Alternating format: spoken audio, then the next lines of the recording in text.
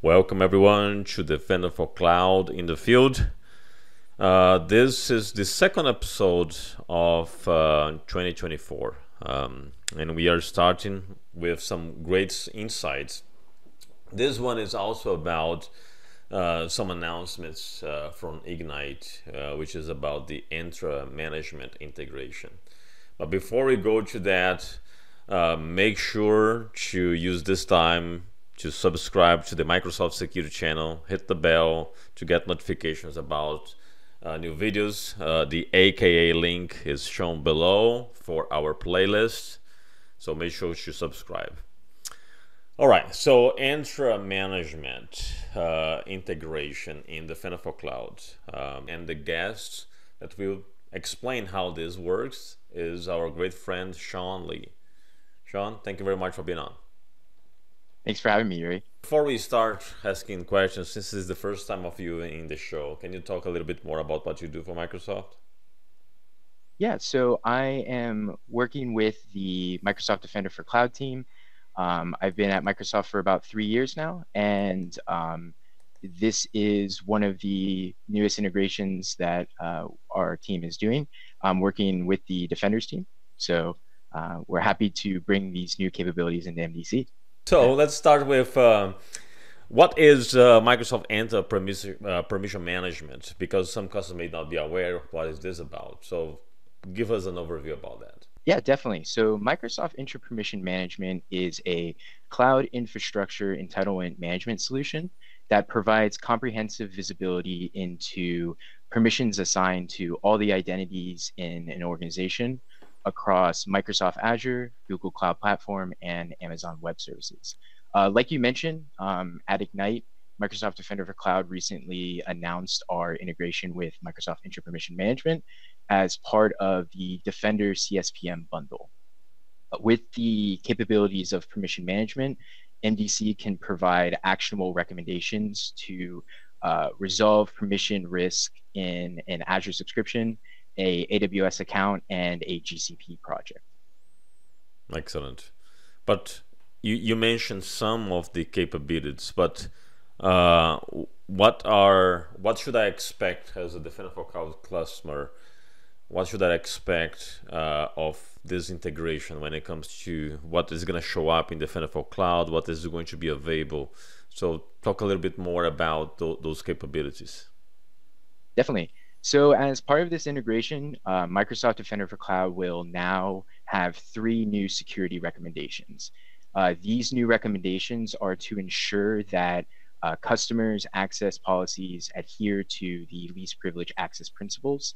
Um, these new recommendations include uh, recommendations for over-provisioned identities, which are identities that haven't or identities that have permissions that haven't been used in the last 90 days.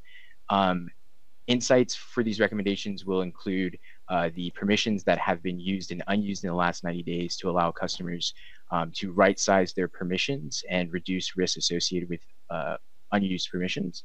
The next recommendation that uh, new recommendation that we'll provide is for super users. Super users are identities in a in um, that are uh, that have high level of permission in an organization. Um, as part of the recommendation, MDC will detect these super users in an organization and allow customers to remove these super users to mitigate the risk associated with these high level permissions, as well as potential misuse of these super users. And the final new recommendation that will be provided is for unused identities. Unused identities are identities that haven't been used in the last 90 days. And this capability will uh, detect the unused identities for a particular uh, Azure subscription, AWS account, and GCP project, and allow customers to remediate the risk associated with unused identities. Okay.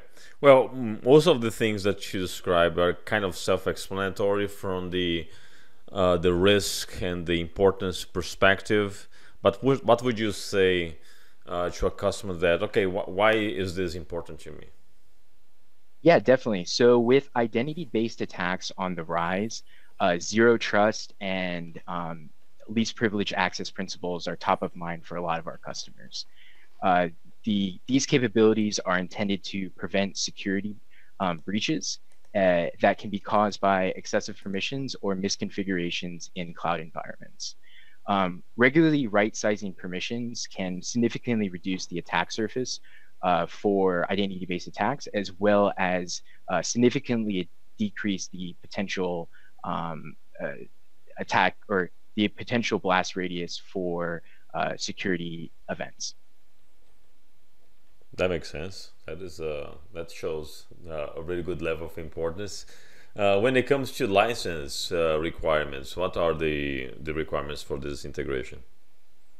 Definitely. So the three new recommendations that Microsoft Defender for Cloud will provide are part of the uh, uh, Defender CSPM bundle and with the CIEM extension enabled.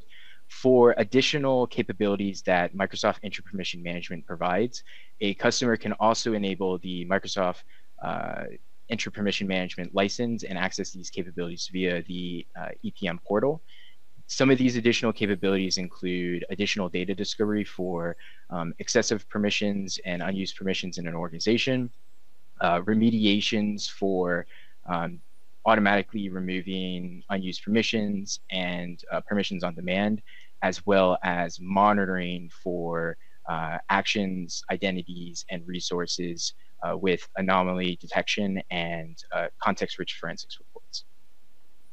Awesome.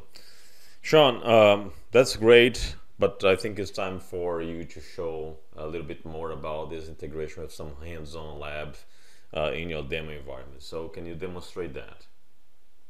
Definitely. Um, so like we talked about, uh, these new capabilities will be part of Defender, C or Defender CSPM um, bundle. So I'm in my Contoso Hotels tenant, and I want to enable these new capabilities on my Azure subscription.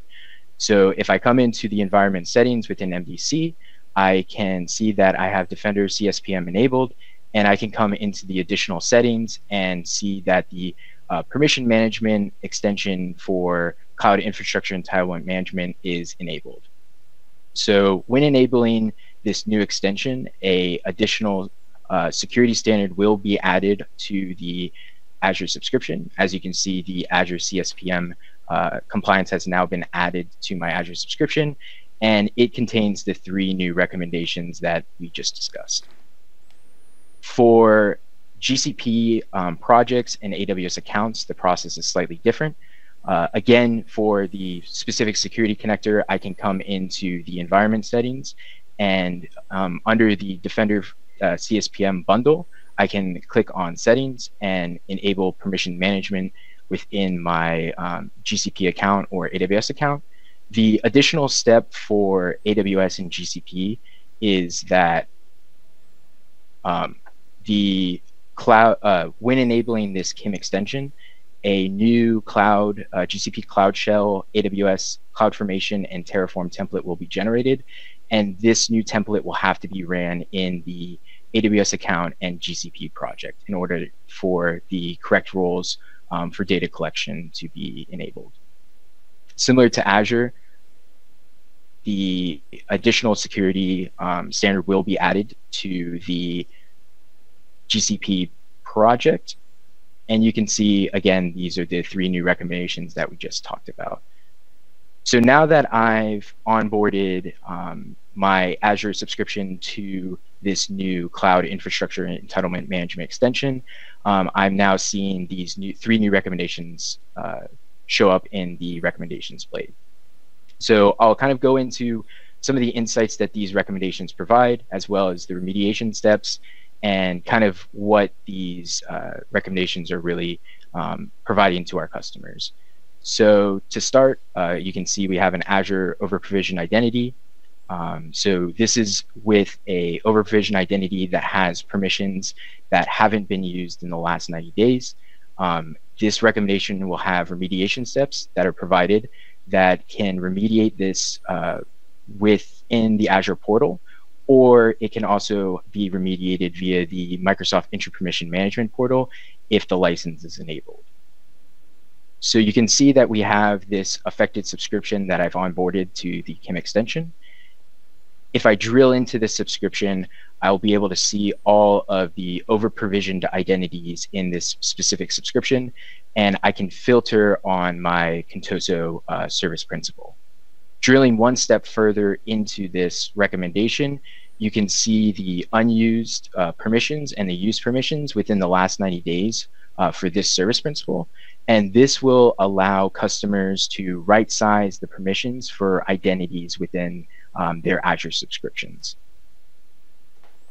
So the next recommendation is for super identities. So again, super identities are those identities that have the highest privileges in an authorization system and that should be removed if they're not an expected super identity. So um, as part of this recommendation, uh, MDC will detect these super, uh, super user identities within your Azure subscription and GCP project and will um, provide a uh, recommendation to remove these um, super users. So as you can see, again, we have uh, manual steps for removing the super user from the Azure portal, as well as additional flags that can be added to exclude it if it is an expected super user, and also remediation steps within the Entra permission permission or Entra permission management portal uh, if the license is enabled. Drilling down into the affected subscription for the super user, uh, I have added my user as an owner on the subscription, and you can see that MDC has detected this and has recommended that I remove my um, user off of this Azure subscription. So the final recommendation that is provided as part of this integration is unused identities. So similar to the last um, uh, recommendation for over provision identities um, that are permissions that haven't been used in the last 90 days. This is for identities that haven't been used in the last 90 days. So an identity that has uh, hasn't used any permissions and the identity itself hasn't been used in the last 90 days. So again, the uh, manual remediation steps are provided uh, via the Azure portal as well as um, using the Microsoft Permission Management portal uh, if the license is disabled, and you can see that the unhealthy subscription that we've onboarded and drilling into it, uh, it will detect all of the unused identities within this Azure subscription. And I added my user and I haven't used any permissions within this subscription. So you can see that MDC has detected my uh, user and has recommended that I remove this identity from the Azure subscription. Excellent. Uh, that's really good. That's really good because the, the entire identity aspect of uh, our CNAPP strategy is not about only leveraging what we have baked in Defender for Cloud, but surfacing this integration with uh, Entra permission management. And these recommendations really give a, a, a good um, sense of this integration by highlighting those uh, improvements that can be done from the identity perspective. Sean, any additional uh, consideration that you want to share or recommendation? No, that was about it. And these features, just to clarify, these features, these recommendations, are they GA or public preview? So these are public preview um, as of Ignite. Excellent. All right, Sean. So thank you very much for taking the time uh, to join and share your thoughts about this integration. Congratulations for the great job there for you and to the entire team uh, that helped to put this integration together. Definitely. Thanks for having me, Yuri. Absolutely, my friend. All right, everyone. This is a wrap for today's episode. Uh, again, make sure to subscribe to our Microsoft Secure channel, and specifically to the AKA link below, which is our playlist we have a lot of episodes lined up. Uh, this is going to be a busy year. Make sure to subscribe and stay tuned for more. See you next time.